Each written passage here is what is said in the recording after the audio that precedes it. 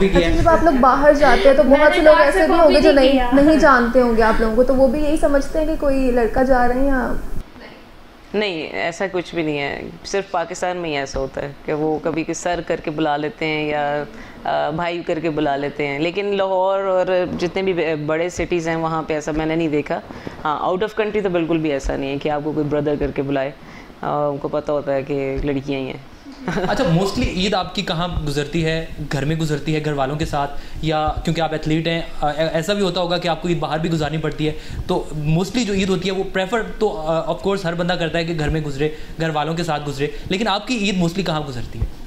Uh, जब से cricket में आई हूँ तब से मेरा ख्याल है दो तीन ईद ऐसे ही गुजरी हैं जिसमें हम पाकिस्तान में नहीं थे और घर पे नहीं थे। uh, वैसे ज़्यादातर तो फैमिली के साथ ही गुजरती है और स्पेसिफिक छुट्टियाँ मिलती हैं हमें ईद के दिनों की। एक वीक मिल जाता है। और वैसे हर दफ़ा रमज़ान में हमारे कैंप्स वगैरह लगे होते हैं, इस दफ़ा हमें थोड़ा रिलैक्स क्योंकि हमारा पीछे वर्ल्ड कप गुजरा दो महीने का, और ईद भी यहाँ पर गुजार रहे हैं। लेकिन दो तीन ईदें ऐसे बीच में गुजरी हैं जिसमें हम पाकिस्तान में नहीं थे। अच्छा आप दोनों जब पाकिस्तान में नहीं होती हैं, किसी दूसरे कंट्री में होती हैं, और दोनों एक साथ चल रही होती हैं तो कभी कोई ऐसा वाक्य, कोई अजीब वाक्य हुआ हो या लोगों ने देख के कुछ इस तरह का, अमूमन वैसे होता है यहाँ पे पाकिस्तान में है, बाहर, जैसे आपने अभी कहा, बाहर इतना नहीं होता, लेकिन लोग भूल गए हों कि या ये बहनें हैं, या इतनी शक्लें इनकी मिलती हैं, इनके स्टाइल भी एक जैसे हैं तो कभी ऐसा हुआ कोई ऐसा मज़ेदार वाक्य? ये है, हमारे साथ वाक्य होते ही रहते हैं तो एक वाक्य भूल के, दूसरे कई वाक्य ऐसे चलते रहते जो भूलते रहते एक मैं सिटी में थी एक जगह पे थोड़ा ऐसे बैकवर्ड सा सिटी था और मैंने गाड़ी पार्क की साइड में, मुझे कोई चीज़ दुकान से लेनी थी। तो मैं वहाँ पे उतरी और मैंने जाके वो चीज़ ख़रीदी बाहर ही थी मैं शॉप के। तो एक छोटा बच्चा आया मेरे पास तो उसने देखा मुझे, देखा इसने इयर वगैरह पहनी हुई हैं। इधर से आया, इधर से मुझे टैप करके कहता है, भाई दो ही पाइया ने मैं कभी एक ला तो बड़ा वो फनी लगा मुझे कि वो काफ़ी देर मुझे ऑब्ज़र्व करता रहा कि ये लड़के ने इयर पहनी हुई है।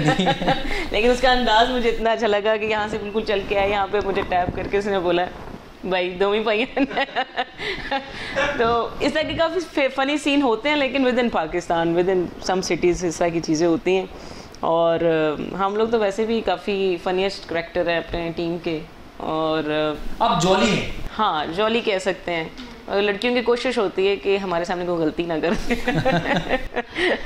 वरना हम उनको छेड़ छेड़, हम छेड़ छेड़ के उनको ख़त्म कर देते नहीं, वैसे इतनी देर में हम बल्कि बताता चलूँ मैं कि जब हम लोग पहले बात कर रहे थे प्रोग्राम स्टार्ट होने से पहले तो इतनी चीज़ें मैं आपके बारे में ऑब्ज़र्व कर चुका था पहले से। तो जब मैंने प्रोग्राम स्टार्ट किया तो मुझे पता था कि मुझे इन चीज़ों का ख्याल रखना है।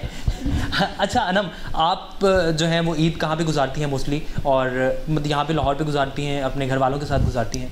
ज़्यादा फैमिली के साथ ही गुजरती है। मैंने जब से क्रिकेट खेलना स्टार्ट किया है, मेरे ख्याल से मेरी दो ईद बाहर गुजरी हैं और वो टूर पे गए थे हम लोग। बाकी तो फैमिली के साथ ही गुजरती हैं।